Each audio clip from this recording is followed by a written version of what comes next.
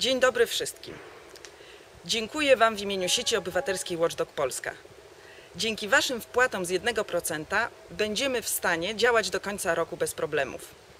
Zebraliśmy niebagatelną kwotę, a raczej przekazaliście nam niebagatelną kwotę. Oto ona. 208 830 zł 38 groszy. Dzięki.